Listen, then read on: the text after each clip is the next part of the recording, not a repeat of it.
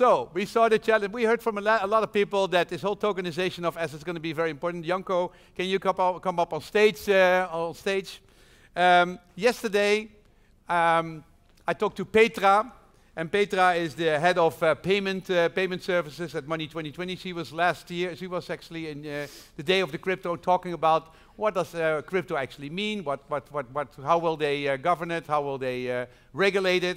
And but she couldn't be here. She's uh, so Janko. I talked to her with Janko, and Janko and I had an interesting conversation because Janko you were um, you, you work for the Dutch Central Bank, but you also you were the chairman of a European uh, of a European group. What was uh, what was that? Global even. So Richard yeah. is probably happy. Uh, yeah. yeah. So we, uh, but it's more on the banking supervisory side. But all the regulators are watching this and looking at this, yeah. Uh, and trying to figure out what they want to do. Yeah. so you just came out. with uh, it's there's an English version of that vision on payments. It's online, but you gave me the Dutch. So that is the vision of the Dutch central bank on payment system, on crypto, on, on, on, on blockchain and where it's going. And can you tell us uh, what role do you think, uh, do you, you, how do you view this whole crypto and this blockchain thing and what is your role on regulation, what is your vision on regulation? Yeah, so this is coming from the central bank, and as a central bank, we are operator of the wholesale systems, uh, but we're also overseer, so we have a dual role. But we're also the, the, supervisor. This is coming from the central bank, and what we're seeing is the payment industry is changing rapidly, we're seeing more and more external parties entering systems. They want to, to add uh, access to their wholesale system uh, that we're governing, uh, and this confronts us with what do we want to do with all these questions, have a more coherent story to the outside world and also discuss with, with you uh, what our key points are. And uh, actually three. We want to focus on robustness in the chain. You see more and more of new parties entering, and with cyber resilience, you always have the weakest spot in the chain. Robustness, or robustness of robustness the of the chain of the payment uh, yeah. service. Then we also want to have a, a cash, uh, uh, uh less cash society, but not a cashless society. So we see a decline in the use of cash. But then again, when you when you learn about what is happening in Sweden, they are a couple of years ahead, and now they're trying to figure out how they can stop this trend because cash is actually important. You had this failure in the UK, which is public, about uh, the Visa uh, network, and at that point, people return to cash. So we do want to keep cash uh, in as a as a backup. And the third one is. Um, we want to focus on innovation. That's what this is all about. Yeah. So we published a blockchain uh, uh, bulletin. So it's a short uh, paper on uh, what our experience is with blockchain, and we did experimentations more than uh, one day with uh, two people and, and, some beer cans. Mm -hmm. we did it for three years actually, um, and and we did many prototypes, and we learned actually what some of the previous speakers told us. what problem are we trying to solve? Um, we have a fantastic system in Holland. Well, yeah, in Europe, actually, in, yeah, Europe. in Europe, Europe, and the Euro system is introducing instant payments per November this year. Uh, it will be available, uh, but, the, but the payment association knows much better. But it will be available for all consumers here um, next year. Yeah, payments uh, in five seconds. Between banks, eh? Between because banks, yeah. So now what you have now inside your bank, you now get it in. you get it and they even have that they now check the account name and the account number. So yeah. that is really amazing. what an uh, innovation. Uh, innovation. It's really good innovation. but why not 10 years ago? Yeah. Yeah. So we are not paid to be ahead of the curve, right? So we are the regulator of the banks. The banks need to uh, be in front of this innovation curve. It's, yeah. it's necessary. Okay, but let, us talk we about the, the problem. You say what Bart said. What problem is it solving? You don't see it, or yeah. you. Um, you think it's all hunky-dory with the financial system and we don't need any more disruptive no, innovation? So, so we do see uh, potential in settlement efficiency, for example, in cross-border remittances. There was an interesting piece today in the Financial Times about uh, the battle between Ripple and, and Swift. Um, so Ripple's the challenger and Swift is the incumbent institution. You'll see this more and more because there's some inefficiency there. Uh, everybody agrees on that. It takes too much time to send your euros to uh, zlotys in, in Poland, mm -hmm. or UK dollars, UK uh, pounds to zlotys. Um, so institutions are working on this and they are applying technologies such as these. Um, so it can be an, a possible solution, but it's still early days. Yeah, but I mean, if you, for example, say, let's make an intelligent coin. We make a healthcare coin. Yeah. The healthcare coin uh, has certain characteristics in it that it can only be paid to a healthcare provider if the money is approved by the contract of by, by the healthcare, by the insurance company, by this, by that. And that's why, because there's a lot of security built into its smart money, you can make a system which is way simpler and it's not so easy to steal the money. So you have to be less protective about it. That's basically what, Yeah. what he's trying to do. And so that, that there's optimized, intelligent money instead of, you know, the powerful euro, which is everywhere. You can do everything about it. You have to test if a terrorist is, uh, is, is using it or if somebody's whitewashing it all the time.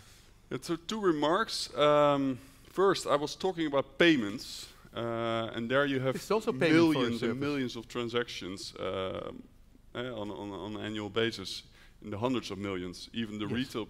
Yeah. So it's it's in terms of scalability that you cannot achieve with the truly decentralized ledgers. Or you think there's not going to be blockchains which can do a It million transactions a second? It will be. Uh, we were investigating, but the current technology, we're not seeing it. Mhm. Uh, so that's one of our main points. And the other point is that anonymity is, of course, one of the key uh, points here. And, and um, um, there's pseudo-anonymity with the bitcoins and the, the altcoins, but there are now also double anonymous uh, privacy coins. um, That's your concern. and then we have concerns, and not only we. Uh, so the European Commission uh, issued a new uh, anti-money laundering directive. That's been adopted now, and it will be pub- published in the uh, EU Journal. Uh, so it will be implemented, and it will also be implemented in the Netherlands. And we will have crypto exchanges and wallet providers under the remit of this directive. Yeah? But it will be quite challenging to see who's actually behind all these transactions because at some point uh, you cannot follow the trace. So many smart people are thinking about what do we want to do with this, with this Yeah, pseudo anonymity, and do we really trust where these tokens are coming Yeah. from? Every money, if, if, it, if it's legal, it needs to be tracked and traced from uh, to the origin. Yeah. And otherwise, it cannot exist. It What about exist. cash? Are you going to le- leave cash around, or Uh, the, the cash is, of course, now the the, the typical uh, use use uh, use used medium for this. Uh-huh. Uh, but cash is quite uh, cumbersome to ship, uh, so it, there's some inefficiencies there uh, which don't allow the people who are not no, benevolent like all of us Yeah. uh, to send it around all the world. Okay. What are you going to do? I mean, you normally have said uh, we don't regulate crypto. It's not money. We don't regulate it. But there is the. If I go to a bank, I mean, I have a little mining operation. Okay, I have miners, so they mine Bitcoin or Litecoin, and what we did is we took those uh, 60 miners and we brought them at a uh, flower at a uh, tomato tomato um, uh, grower, because they make their own electricity. And they make electricity. We put it in miner. We get mi- we get light, Litecoin. And what happens to the heat? The heat goes into the uh, greenhouses, and uh, so it's 100 percent. Uh, It's 100 percent. We just have instead of making heat with uh, heat with uh, gasoline uh, things, we, we make it with electricity, and it's 100 percent. It's called green mine. We tried to get a bank account from B- bunq because bunq, uh, you know, was the only one who did basically works with crypto. They said, "Oh no, we cannot guarantee that you're not whitewashing or that you're not doing terrorist sponsoring. You're not getting a bank account." ABN AMRO is the same. ING the same.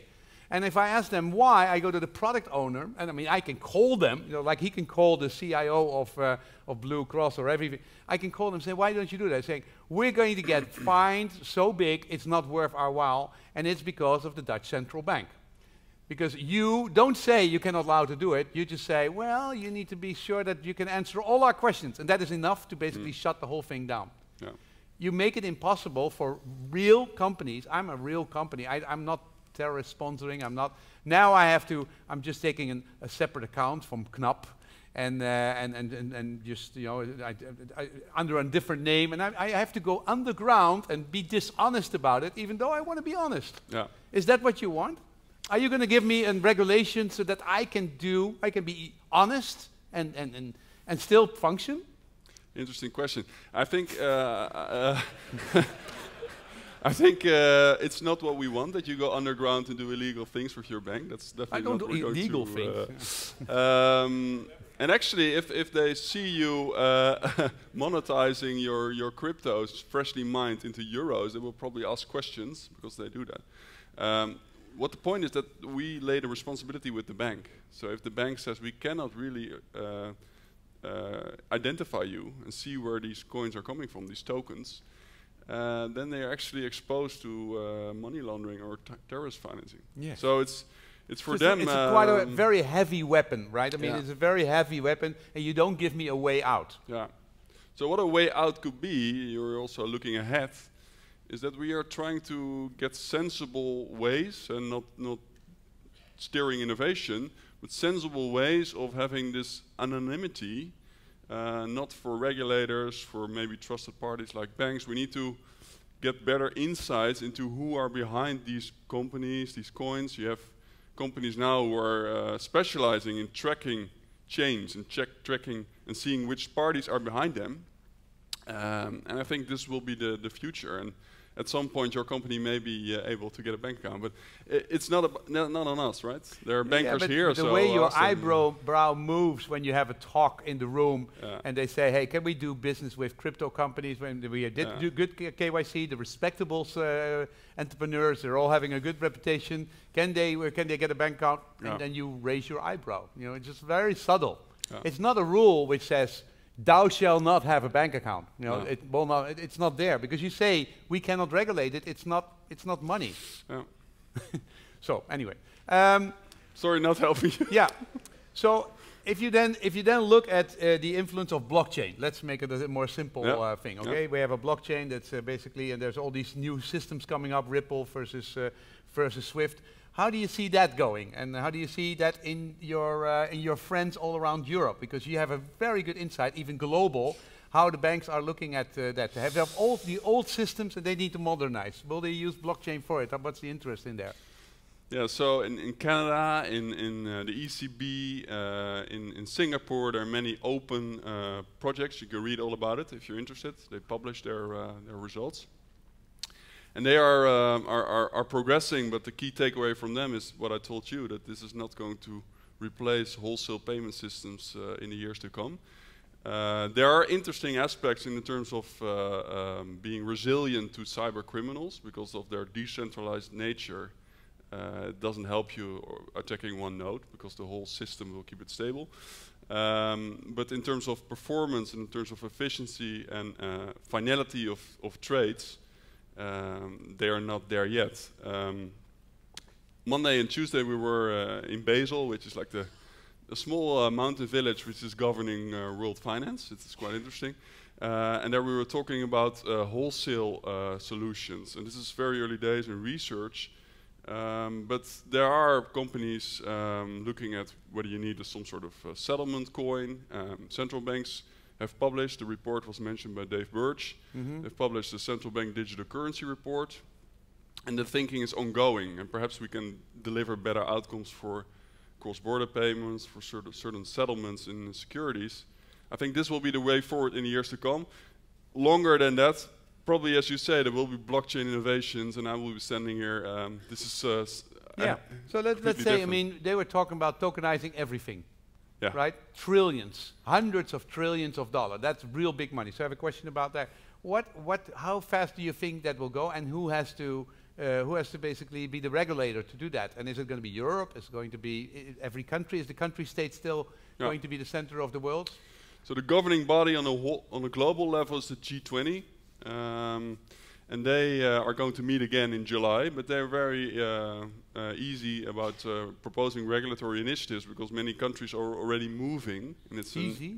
They, they, they don't want to no they don't want to move too quickly so they Uh-huh, want yeah. to know first what's going on and we are actually also doing this um, and I think what the best we can do is establish something on the European level so this is more the authority for the financial markets and the uh, European uh, Securities uh, Authority um, so we will uh, work with them in seeing whether such regulation is beneficial I think the, the Swiss example, which was mentioned, is very uh, very interesting. Yeah. Um, also in France, there's talk to them. Uh, are, Yeah. are they really Yeah. ahead? Are they the? Uh, and is everybody looking at them No, saying, "Oh, They're ahead in terms of communication uh, and in terms of um, signaling this. Uh, there's also uh, some aspects in that, but Uh, there is some sense in, in what they say. If it's a, if it walks like a duck, it quacks like a duck. It's probably a duck. If it's looked like a security, Yeah. well, then we should regulate it. Next year, when you're back here, what will what what what has changed in regulation in this whole uh, in this whole world? and there will be definitely more certainty on, on what Europe will be doing because ESMA is going to advise. Uh, Will it be much more tougher to do ICOs and much more tougher to to basically buy and sell uh, tokens for for for companies or people? It won't be tougher for, for good entrepreneurs who are thinking about their business model or eager to show what they're doing and being transparent and having talks. It'd be even easier because you don't have to do these 100 talks. You're slightly regulated in a sense, probably, and then you will be able to signal that. Uh, it will be tougher for the scams. Okay. Yeah. Wonderful. Thank you very much. You're welcome. Good luck.